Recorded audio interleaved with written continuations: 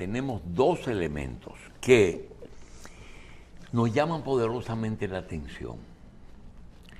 Mi amigo Ángel Martínez, que tiene un, un comentario en las redes muy escuchado y visto, nos envía la prueba de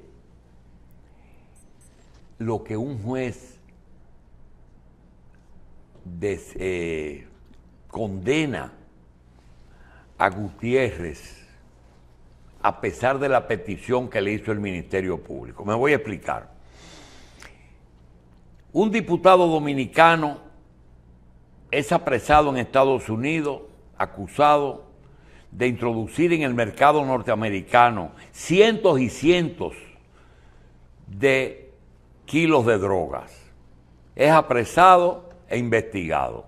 El Ministerio Público negocia con Gutiérrez que si él dice todo,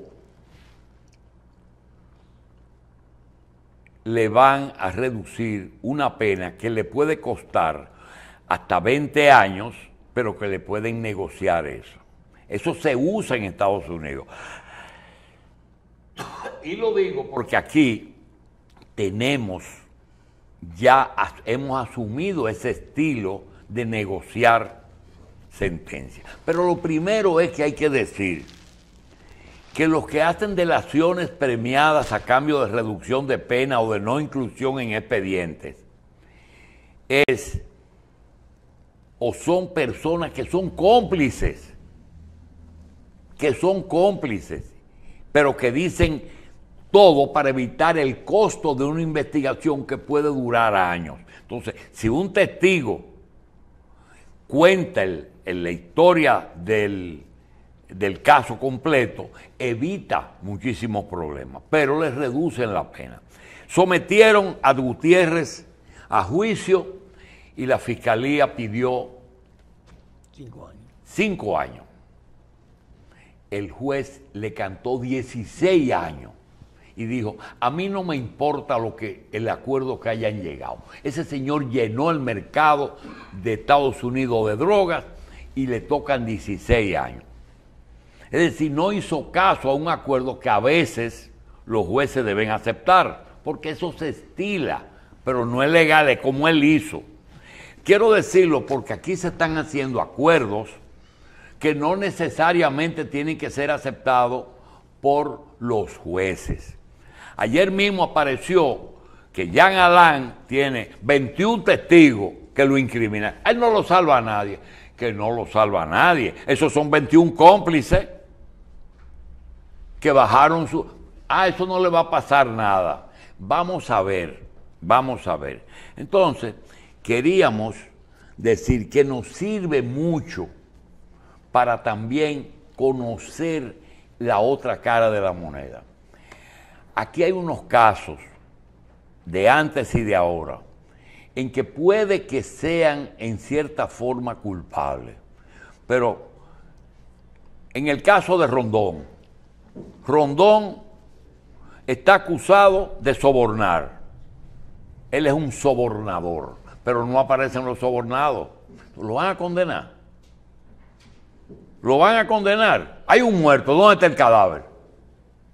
No, él, mató, sí, pero ¿a quién tú mataste? Entonces Rondón es un candidato a que un juez diga, bueno, yo tengo la íntima convicción, Pero, pero no tengo la prueba. así es. El caso de Crisóstomo.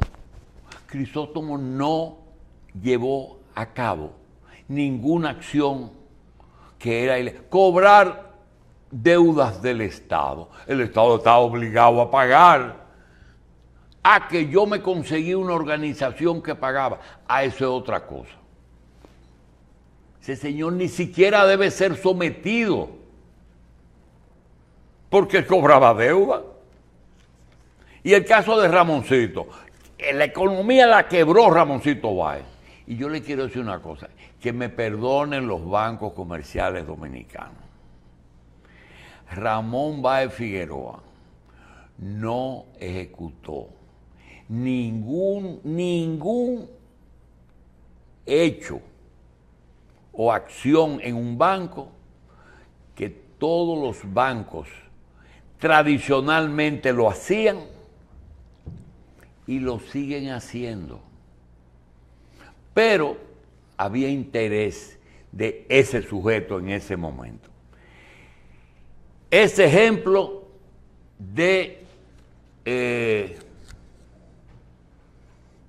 lo que dio eh, motivo al que un juez no acepte debe de ser un antecedente que pese aquí en los procesos que van.